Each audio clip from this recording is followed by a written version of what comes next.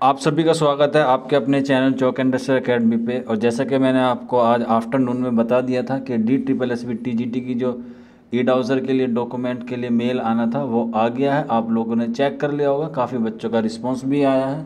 काफ़ी बच्चों का सिलेक्शन भी हुआ है। तो उसमें आप लोग पूछ रहे थे कट ऑफ़ कितना गया और ई डाउज़र के लिए क्या क्या टाइमिंग दी गई है। तो आप देख सकते हैं, तेईस बारह दो हज़ार इक्कीस का नोटिस है। पोस्ट कोड है इसका। बावन बटे इक्कीस, यानी कि मेल का है फीमेल का भी आ गया। उसके लिए मैं आपको अलग से वीडियो प्रोवाइड करा दूँगा, अभी कुछ देर में ही।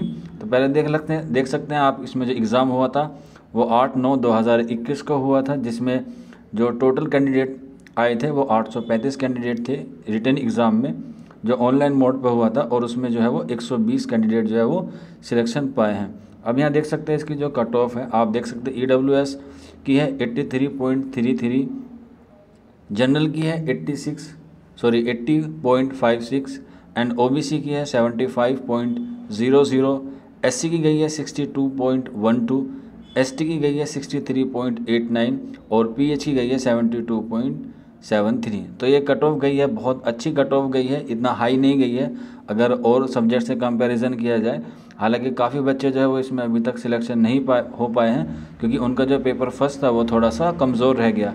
लेकिन उनको पहले पेपर की भी मेहनत करनी होगी, क्योंकि उर्दू वाले, खासकर बच्चे सिर्फ़ उर्दू पे तवज्जो देते हैं, बाकी नहीं देते हैं। उनको जीएस रीजनिंग इंग्लिश से कोई वास्ता नहीं होता है। और ये बात है कि आपको थोड़ी सी बहुत जानकारी और तमाम सब्जेक्ट की भी रखनी चाहिए। लेकिन ये जो इन्होंने मिनिमम क्राइटेरिया रखा है, ये भी थोड़ा सा एक अलग लेवल का है। और पेपर भी, जैसा कि बच्चों का रिव्यू आया था कि पेपर जो है वो काफ़ी टफ़ आया था। हालाँकि ये बात हम लोग अलग से एक वीडियो में प्रोवाइड करा देंगे आपको।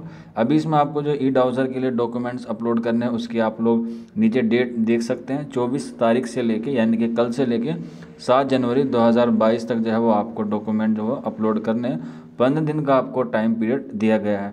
बाकी आपको किस तरह से सारे डॉक्यूमेंट्स अपलोड करने हैं, उसके लिए भी मैं आपको वीडियो जो है वो जल्द से जल्द प्रोवाइड करा दूँगा।